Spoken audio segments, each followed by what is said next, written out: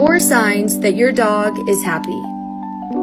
A happy dog will roll on their back and expose their belly to you. This is a sign that they are happy and trusting of you. In fact, a dog that initiates physical contact, such as bumping up against you, putting their head in your hand, or pawing at you, is expressing their happiness and their desire to be with you.